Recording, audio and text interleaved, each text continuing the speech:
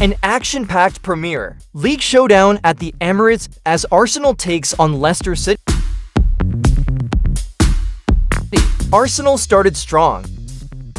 In the 20th minute, Gabriel Martinelli opened the scoring with a well-placed strike, setting the tone for the Gunners.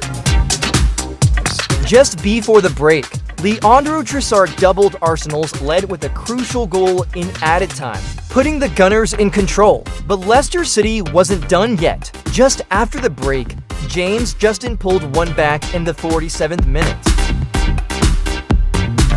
giving Leicester hope. And in the 63rd minute, Justin struck again, a stunning brace to level the score at 2-2-2, game on. With the match heading into stoppage time, the pressure was on. An unfortunate own goal from Leicester's Wilfred Ndidi gave Arsenal a late advantage in the 94th minute. And just when you thought it was over, Kai Havertz sealed the victory in the 99th minute with a cool finish. Arsenal 4, Leicester 2.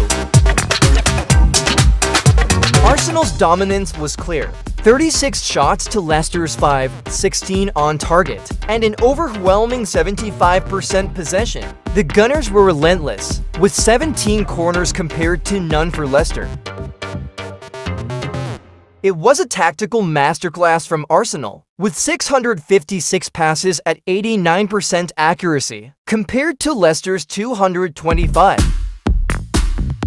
A thrilling for two to win for Arsenal. As they continue their march up the Premier League table, Leicester fought back hard.